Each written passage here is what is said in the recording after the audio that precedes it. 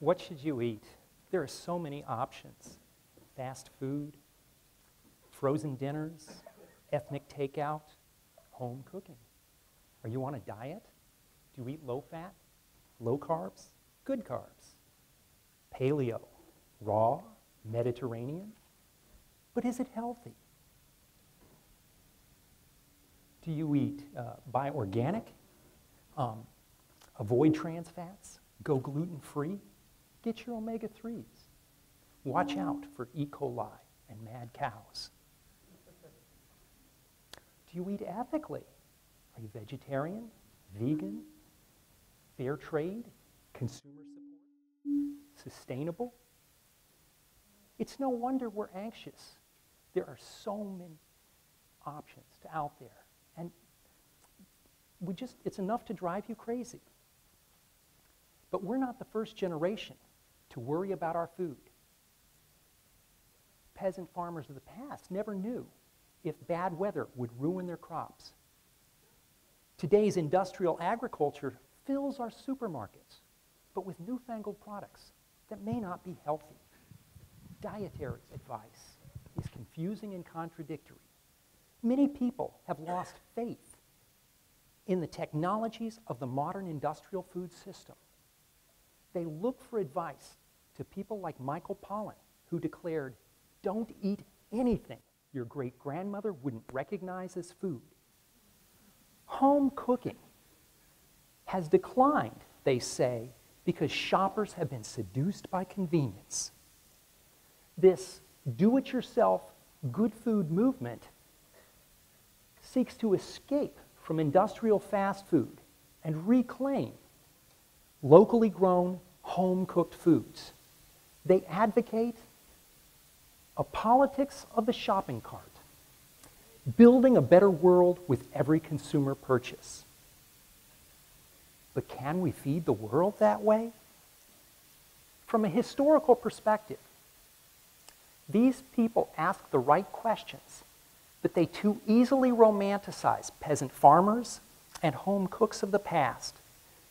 To build a truly just and sustainable food system, we need to think in new ways about the labor of farming and cooking. The industrial food system that the new agrarians oppose is based on intensive commodity agriculture. It seeks to maximize yields through monoculture, standardized seeds, and chemical inputs. In doing so, it reduces biodiversity to a farmyard equivalent of the Industrial Revolution's interchangeable parts. Critics say the system is unhealthy, unsustainable, and unjust. It's unhealthy not only because we eat too much, leading to diabetes and heart disease, but also because of contamination from E. coli bacteria, pesticides, and antibiotics. It's also unsustainable. Pesticide residues, fertilizer runoff, soil salinification, and water shortages are strip mining the soil. Finally, it's unjust. Corporate control is undermining democratic governance of the food system from the seed to the marketplace. Giant seed companies use new intellectual property laws to claim ownership of plants that farmers have been breeding successfully for thousands of years. Meanwhile, supermarket chains are privatizing the infrastructure of distribution. As the rich come to depend on private labels to guarantee quality, the poor lose the benefit of government food inspection. We can quibble about the details. We can fight over the answers. But we cannot escape the scope of these problems, especially with global climate change. But that doesn't mean we can go back to an idyllic past. The good food narrative of Michael Pollan, Wendell Berry, and Barbara Kingsolver evokes an agrarian pastoral society rooted in Anglo American traditions. Their hero is the yeoman farmer, a self sufficient man of the soil, a man like Thomas Jefferson. Third president of the United States, cosmopolitan thinker, and home gardener. But Jefferson was already part of an industrial food system more than 200 years ago. He owned hundreds of African slaves who worked thousands of acres of land. In this empire of liberty for white men, Jefferson raised commercial crops like tobacco, wheat, and livestock for export to Europe. Already in the 18th century, Virginia hams were prized by the gentry of England, where local hogs were being raised in early industrial feedlots. Their meat was fed to the growing urban markets of London, and they were fattened on the city's chamber pots. Long distance trade is not inherently bad. We need it to cope with the vagaries of weather. Even before modern transportation, markets helped balance the fluctuations of farm production. Organics were once seen as being an alternative to industrial food. They were supposed to be the healthy peasant food that grandma cooked. Now, they are industrial although many people can't afford them even at Walmart's. Nor are organics any less labor intensive. Modern farms, large or small, conventional or organic, rely on undocumented migrant workers. It's a modern version of the old plantation. Finally, the good food movement calls out for home cooking. And that's not surprising. At times of social crisis, we often look inward to the hearth. During the market revolution of the 1820s, Sylvester Graham told women to bake whole grain graham crackers. The back to the land hippies of the 1960s idealized Earth Mother baked cooks with long hair and peasant skirts. All of these movements relied on the unpaid labor of women in the kitchen. My own great grandmother was a Kansas farm wife, but she didn't really like cooking. She grew wonderful tomatoes. She just didn't want to spend weeks every summer canning them to make it through the winter. The good food movement is absolutely right to seek to reclaim home cooked meals.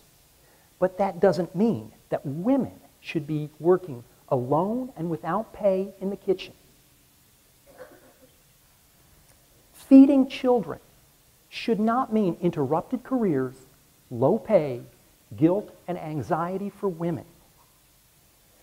Sharing domestic labor is not a feminist issue. It's an economic issue for families that can only survive with dual incomes. the desire for a do it yourself politics of healthy and ethical consumption is understandable at a time when big money dominates national politics. But do it yourself shifts the burden of labor without addressing the inequalities. Those who actually try it are often surprised at how hard the work is and how meager the rewards. And even if we, as individuals can manage to feed ourselves off the land, it's because of the historic dispossession of others. Gardens simply cannot feed the world. We need an intensive food system, just not the one we currently have.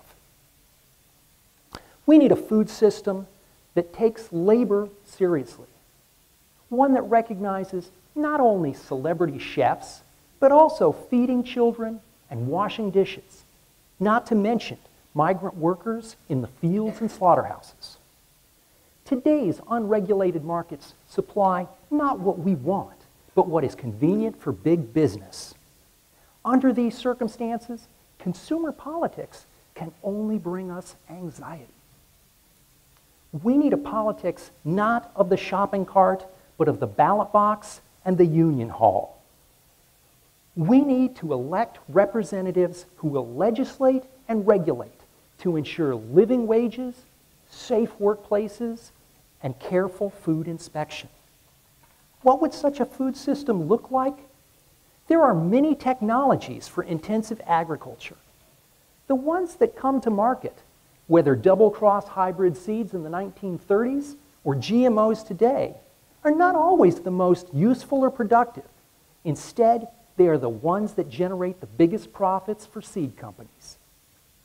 Supermarkets claim that only they have the knowledge and reach to oversee quality and distribute food efficiently in a global food system. But during the world wars, Allied ration boards did exactly that, as did the interwar British Empire Marketing Board. The best alternative to women's labor in the kitchen is not McDonald's, it's immigrant restaurants and street vendors. Admittedly, they often exploit labor too, but at least they show there are tasty, affordable, made from scratch options between do it yourself and the Big Mac. Will it all add up? Is this a utopian dream? No. It's the cooperative farm, labor, and consumer movements that thrived in North America in the mid 20th century. We turned away from these collective movements in the 1980s, and radical individualism has given us only anxiety and inequality, which leads so many to try to do it yourself. In these circumstances, we need to um, search out what the answers are and, and do it in a way that will um, achieve just food for all. So, what is um, the answer? Should we eat locally grown, home cooked food? Absolutely, whenever we can. At the University of Toronto Scarborough's Culinaria Research Center, we have a kitchen laboratory where students cook in class. They do it not to become chefs, but to learn the importance of culinary labor in human society. With historical perspective, they learn not to romanticize peasant farmers or grandma's cooking. They also learn to question claims that billions will starve without GMOs or standardized monoculture. Finally, they learn about historical transformations achieved through collective action and government regulation. In today's industrial food system, only the rich can afford to eat like peasants. With political will, we can create an alternative but still intensive agricultural system that provides healthy and sustainable food for all.